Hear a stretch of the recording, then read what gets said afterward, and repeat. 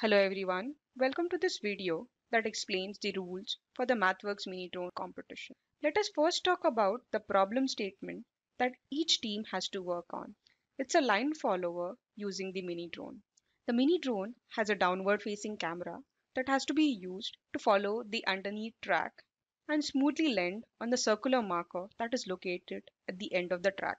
The track will have only straight lines and would not include any curved paths. As mentioned in the last video, the competition consists of two rounds, simulation and deployment, and each of the teams have to implement the mini drone line follower for both the rounds.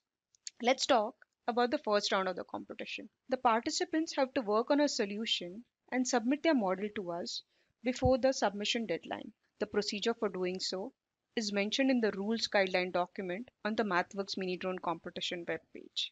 The first round of the competition will be evaluated on how accurately the mini drone traces the path in simulations, how much time is taken to complete the path, and has the mini drone landed correctly on the circle at the end of the track, along with having code generation capability for the model. The submitted model will be evaluated on different tracks in simulation, and the entries will be judged by MathWorks engineers.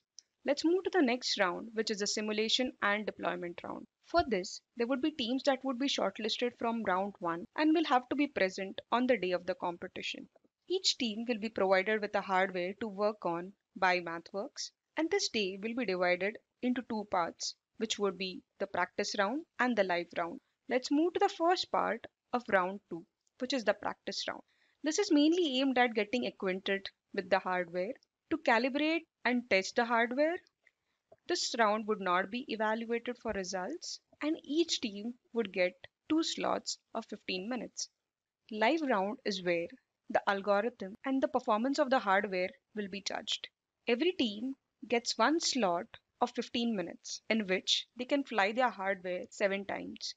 At the end of this 15 minute slot, each team has to nominate one of those seven flights on which they would want to be judged. The teams would be graded based on the number of track sections they have completed. And the judge will decide which stage the mini drone flight has completed, as explained in the next illustration. Let's just go through the flight stages, which would be graded by the judge who will be present on the day of the competition. Once the drone has completed its takeoff, it's stage 0, stage 1, section 2 complete, stage 2, stage 3,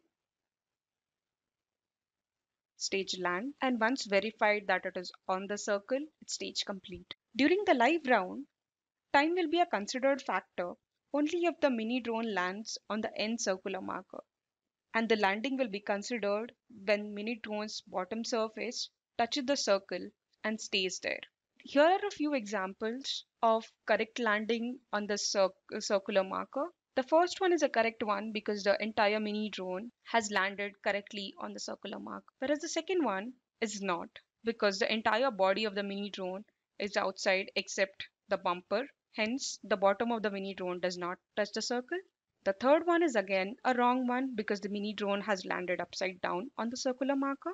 And the fourth one is a correct one because a part of the mini drone has landed on the circular marker. Please visit the MathWorks mini drone competition website. In case you all have any questions, please feel free to ask us on MATLAB answers with a tag of mini drone competition.